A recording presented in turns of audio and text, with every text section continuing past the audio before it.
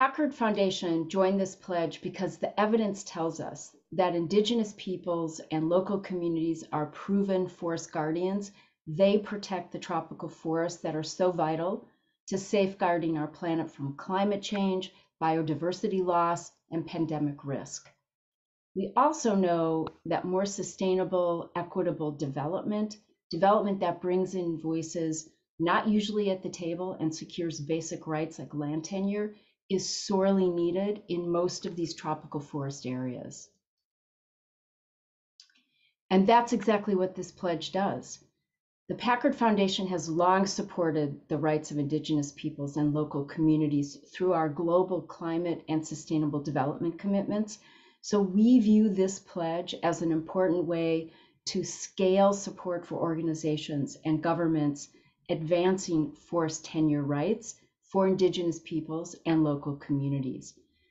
We are really gratified to see other key partners sign on to the pledge and we're eager to see more support for this important commitment.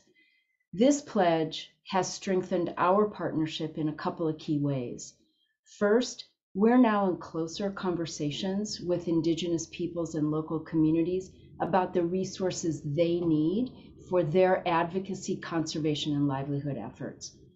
And secondly, we've improved our coordination with donors and governments who have also committed to support forest tenure rights.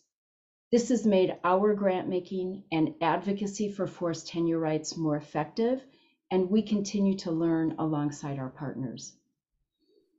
You know, it's sometimes really hard to be optimistic about the prospects for limiting climate change to a level that isn't devastating for both people and our ecosystems. But I've seen what philanthropy is able to do on these issues, and I continue to believe that we can succeed.